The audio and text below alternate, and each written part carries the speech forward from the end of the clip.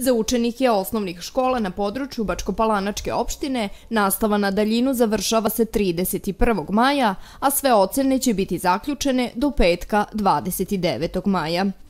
Svi učenici koji budu zadovoljni zaključnom ocenom neće biti dodatno ispitivani u junu, dok će svi učenici koji ne budu zadovoljni godišnjom ocenom imati mogućnost da se prijave za posebne časove nastave u junu na kojima će biti ispitivani u svojim matičnim školama kada će im biti izvedena konačna ocena. Školska godina online, to jest učenje na daljinu, završava se 1. juna, tačnije 29 završava se i školska godina i e, ocene moraju biti zaključene do 29. da mi možemo da vidimo šta je ko postigo i tako dalje.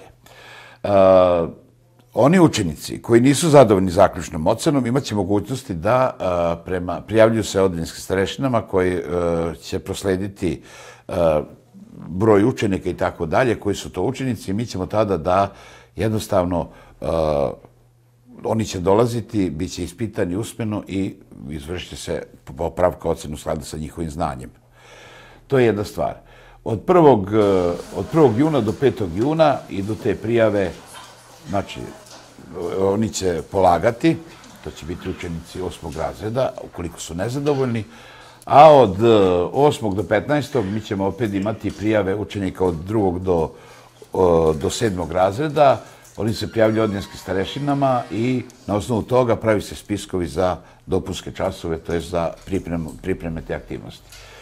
E, mora se izuzetno mnogo, pošto je još uvijek stanje rovito, mora se izuzetno mnogo voditi računa o bezbednosti učenika, to su te dezi barijere, to su ovaj, rukavice, maske, higijenska sredstva, sve to mora da, ovaj, da se prelazi, da se izvrši zaštita, učenici moraju biti maksimalno zaštićeni, a boga mi moraju biti zaštićeni kolege, jer kolege su u tim godinama, imamo dosta kolega koji su blizu 60 godina i tako dalje, a oni ostvaraju neposledni kontakt sa učenicima tako da su u toj rizičnoj grupi.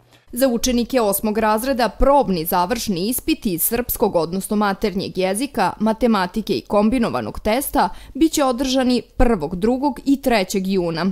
Kada učenici dolaze u svoje škole, uzimaju test koji rade kod kuće, potom urađene testove vraćaju odeljenskim starešinama koje ih predaju komisiji. Mi smo nedavno preuzeli e, probne testove iz e, maternjeg jezika, iz e, matematike i kombinovanog teksta, testa. E, prvog šestog, prvog juna učenici dolaze u školu i dobijaju testove iz maternjeg jezika i kombinovani test, nose kući.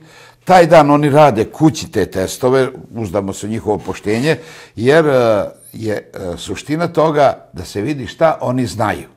Koliko je njihovo znanje, koliko je njihova potreba za pojedinim oblastima koje treba da, da, da, da, da nauče. Nije stvar u tome da im roditelji urade te testove, nego da se vidi stvarno znanje. Ja sada apelujem na roditelje da puste deci da urade te testove, jer bit će im mnogo jednostavnije da i nastavnicima biti jednostavnije da to znanje, da vide koliko oni znaju i šta, šta znaju, šta ne znaju.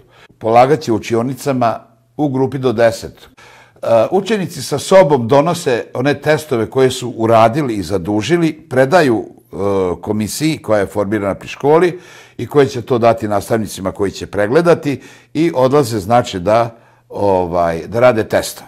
Učenici osmog razreda polažu završni ispit 17., 18. i 19. juna, koji će biti organizovan za grupe od po 10 učenika i to na način koji osigurava bezbednost i zdravlje učenika i zaposlenih, a u skladu je sa preporukama nadležnih organa uz korišćenje maski i rukavica i uz poštovanje socijalne distance.